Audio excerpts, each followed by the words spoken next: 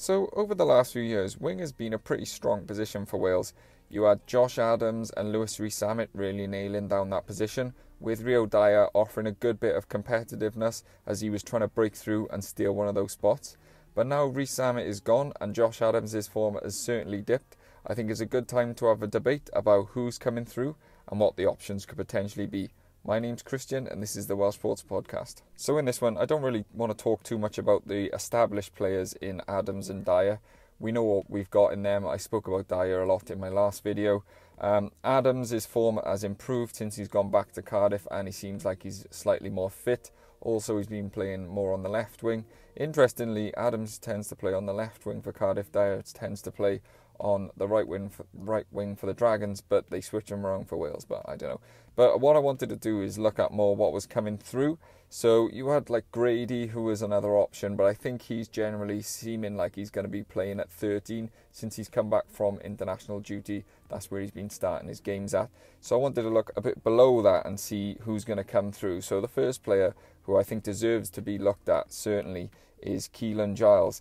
Giles is someone who's sort of been around for a while and always had a little bit of promise. Unfortunately, struggled with fitness a lot, had a few bad injuries, and it stunted his development. But this season, he's had a run of being healthy, and it really shows. Nine tries in 14 games is a really good return.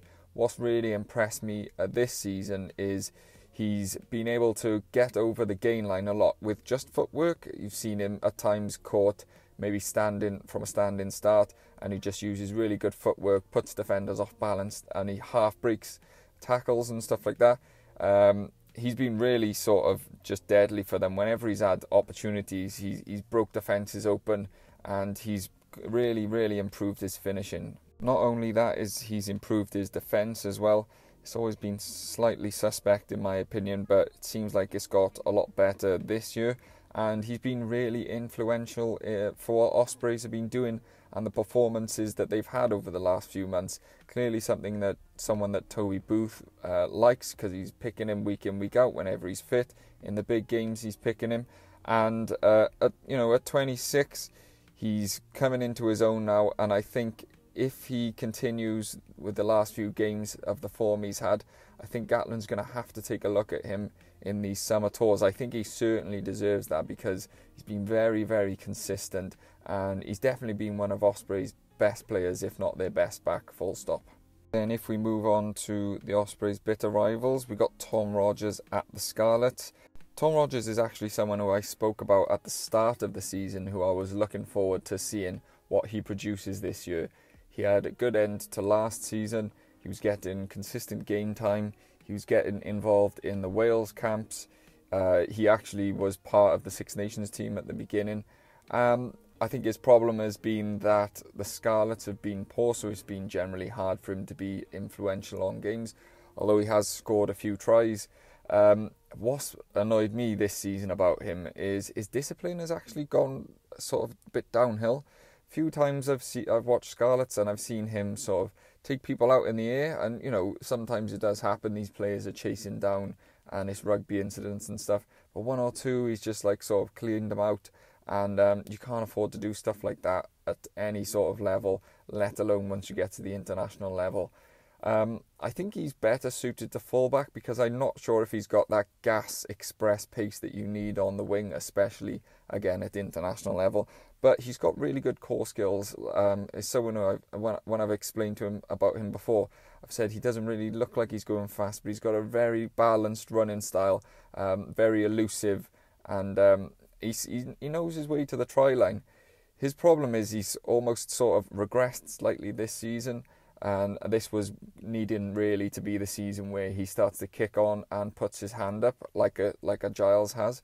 Um, I know. I mean, he's still young. He's only 25, so he's got plenty of time. I still think he's going to be involved in like the international setup. I'm pretty sure the Gatland will still bring him in because he's someone who he's obviously liked the look of and looked at in the past.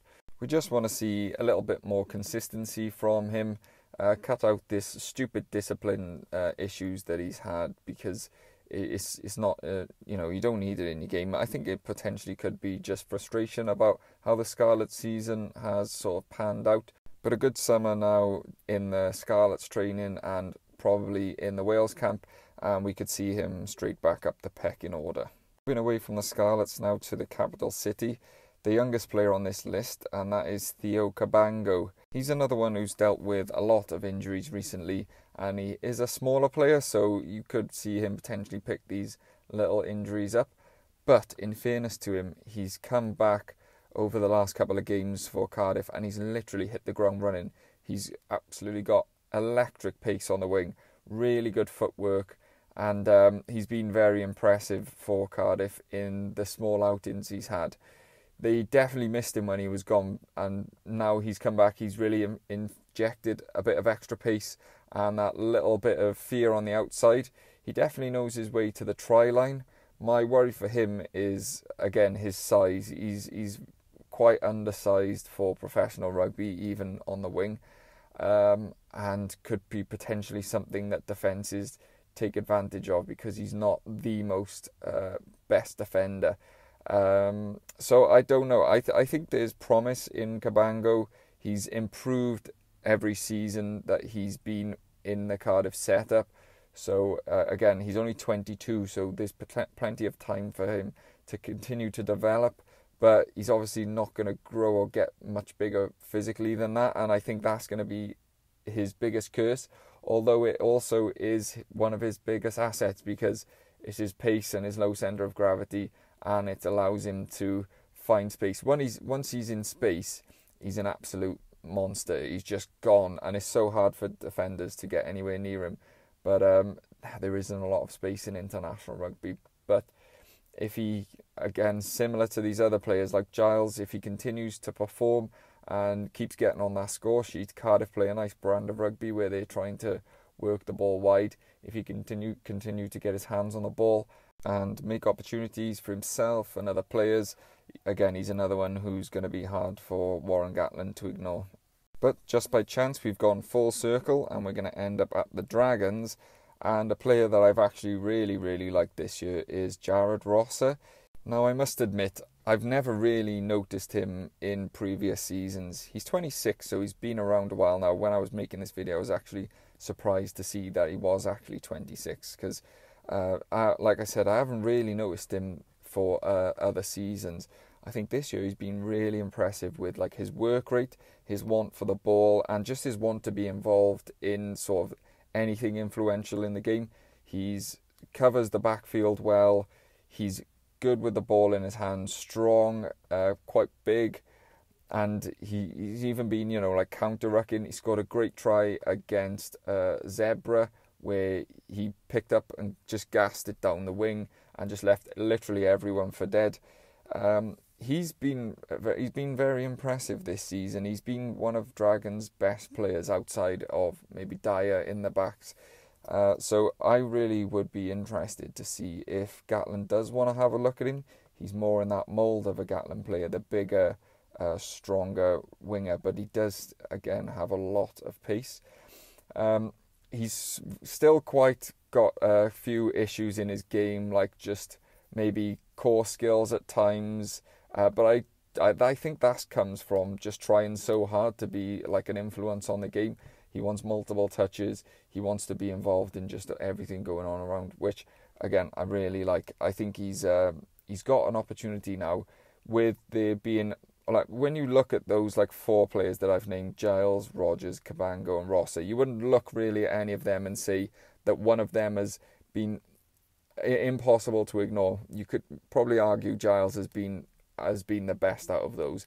But you can't say he's he's begging to be picked and needs to be picked. So I think good performances from any of these guys now as the season comes to an end is going to really be eye catching for Gatland because again I think he's going to stick with Dyer and Adams, but under that it's definitely up for grabs. There's, I, in my opinion, there's two players, uh, two positions up for grabs because you're going to need plenty of cover.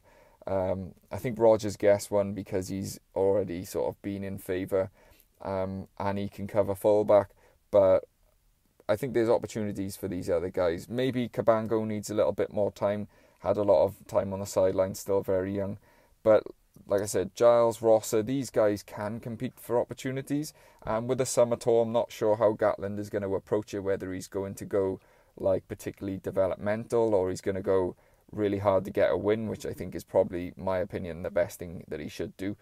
So if he does decide to go experimental, then these are the type of players that could get an opportunity. And um, I would like to see Rosser in the squad and just see with like the coaching that they have and in that system what he can offer. A big, strong guy off the uh, off the wing. So that is it for the wingers. But before I go, I did want to touch on this Liam Williams story that's been floating around.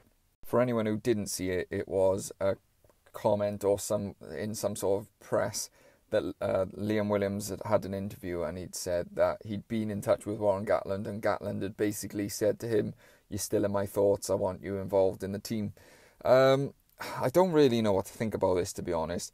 Uh, obviously, it's definitely something that happened because Liam Williams isn't going to make that type of stuff up. Is that just Gatland wanting to get Liam Williams to maybe come back into somewhere in Wales? Because is it plausible for him to be in Japan and coming back and being involved in the setup? I'm not too sure. Is it just he maybe wants him for this summer tour? Like I was saying, is he going to really target the summer tour and try and get a win? And he might feel that Liam Williams is his best option for that. Again, not sure. Um, to me, I, I love Liam Williams. He's been an amazing servant for Wales, and until literally this Six Nations, I was would would have loved for him to still be starting for Wales. But with the emergence of Cam Winnett, I don't think the need is necessarily there for him. Um, I think he would be good in the squad, but are you going to be sacrificing one of these other young players to put Liam Williams in the team for maybe a year? Because you know he's had a lot of injuries recently. He's got a lot of miles on the clock. Um, with his abrasive play style, he's been picking up a lot more injuries. So is it going to be worth it? I'm not sure. Get him in the squad? Yeah, I'm all up for that.